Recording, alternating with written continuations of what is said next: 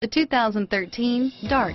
The Dodge Dart was introduced as a lower-priced, shorter wheelbase, full-size Dodge in 1960 and 1961, became a mid-size car for 1962, and finally was a compact from 1963 to 1976.